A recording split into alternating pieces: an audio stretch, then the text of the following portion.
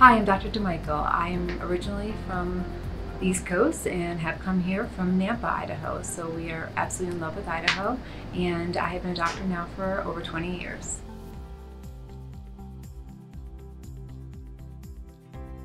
So having lots of pain and heavy menstrual cycles is probably one of the top issues that we see. And this is a big topic. So I'm actually going to incorporate a lot of other topics into this. So I want you to understand. I don't where I brought you pictures. Um, so what we're talking about irregular cycle. This is again the classic cycle that we're experiencing. People are experiencing irregular heavy cycles. They're doing what they want when they want, and what you're seeing is a growth of the lining. Now, a heavy cycle is an imbalance between the estrogen and progesterone. All, our hormone is constant balance. Our bodies are constantly balancing these two hormones.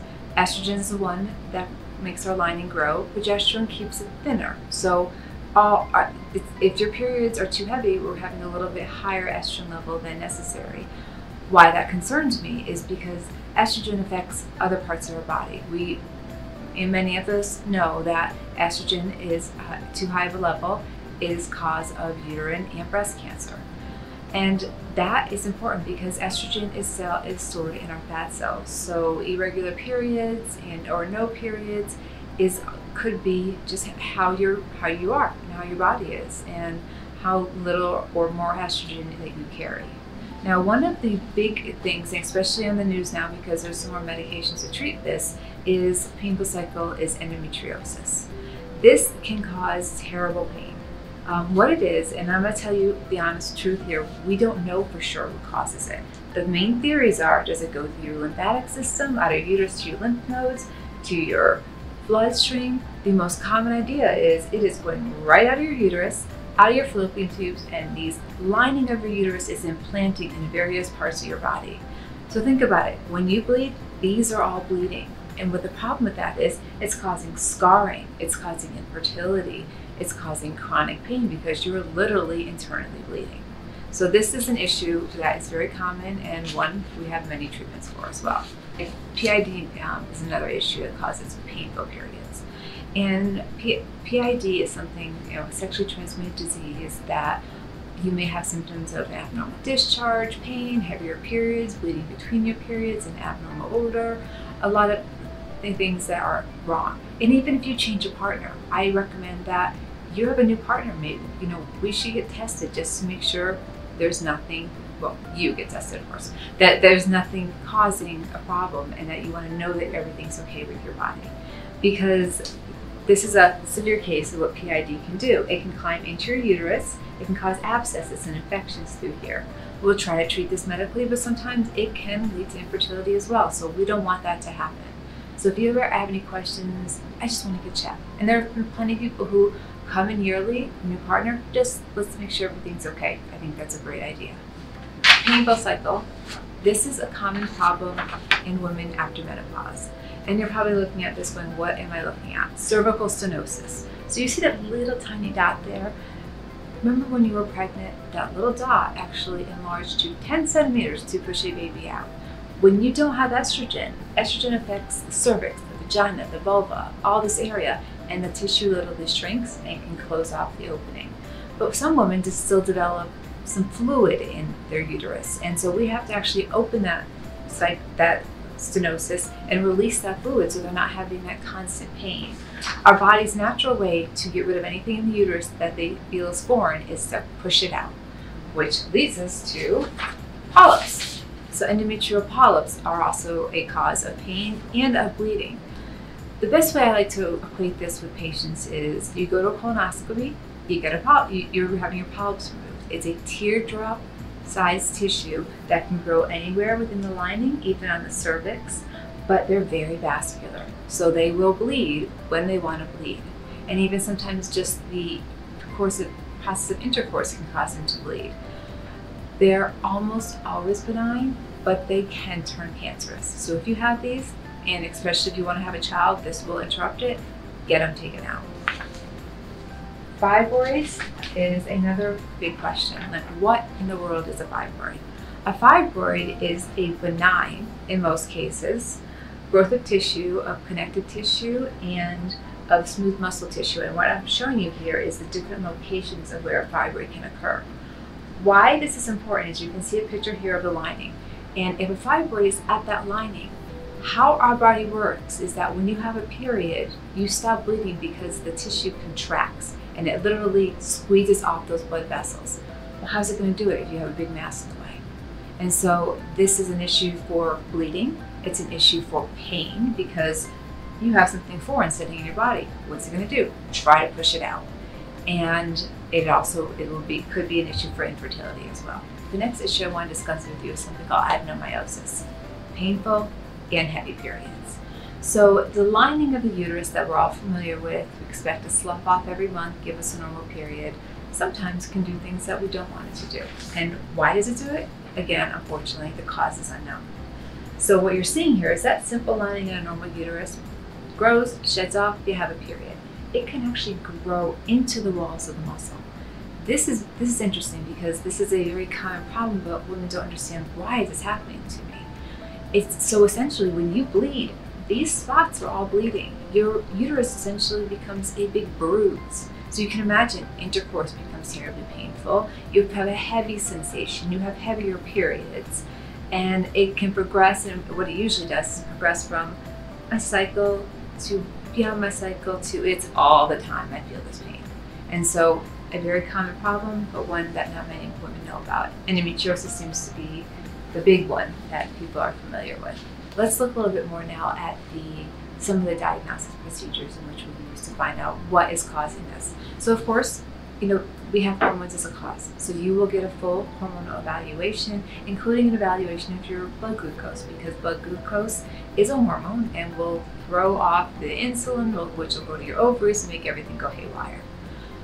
The um, the next issue is that an ultrasound, very important.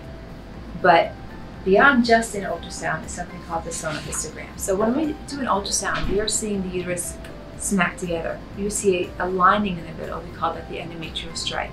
But we can't see what's inside of it because it's flat. Your uterus shouldn't be full of fluid unless there's a baby there. And so what we do is something called a sonohystogram. This device is actually we're putting a little tube in there and we're actually filling it with water. So once we do that, we enlarge the uterus. Is there a polyp there? Is there a fibroid there? What is that? You know, that needs to come out because that could be causing her, and you know, I'll be honest with you, it's almost always a fibroid or, or a uh, polyp. But it has to come out because this is what your body's trying to reject. It's causing you to bleed. We need to eliminate this. We need to make sure everything is benign and get it out. The other thing that is actually, we used to do something called endometrial biopsy and and we still do to a degree, but um, but what that really is is very similar to the picture of the sonohystogram.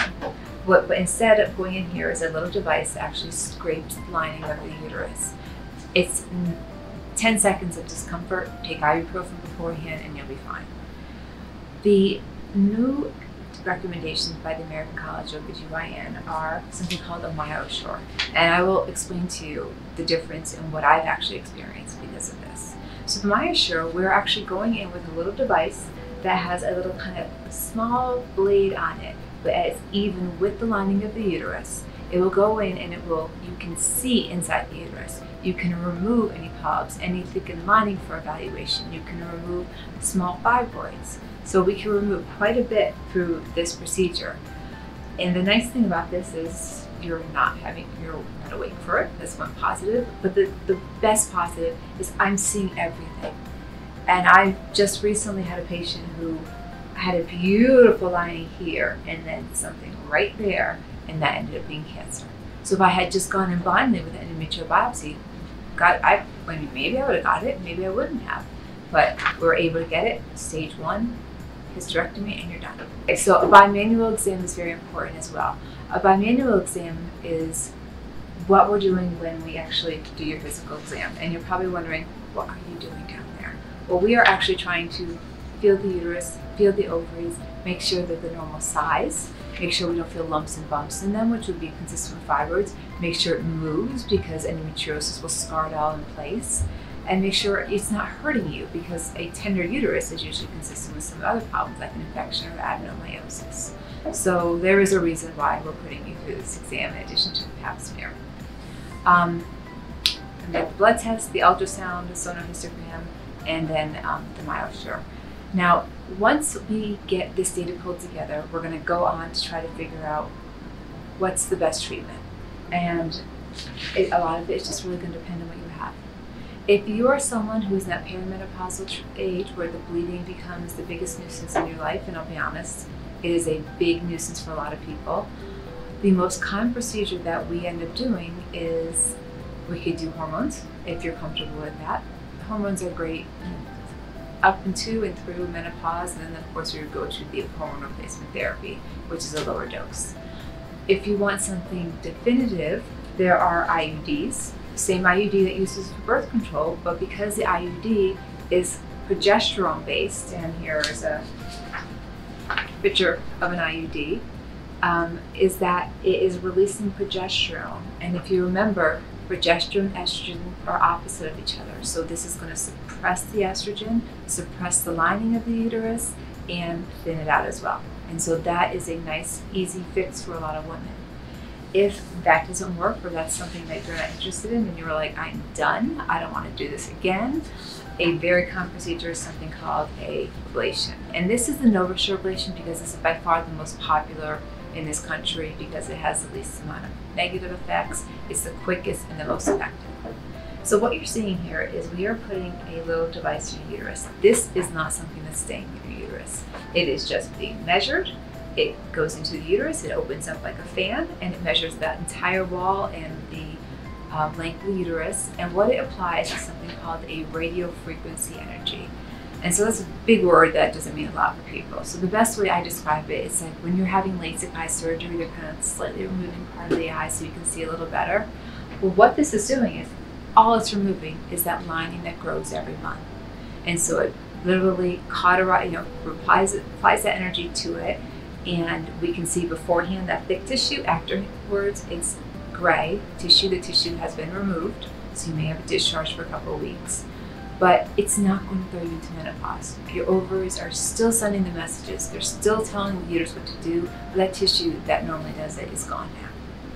And of course, we, you know, the other progression is to go on to something more severe like a hysterectomy, and we will, all of us would love to discuss any of these topics with you should you get to this stage.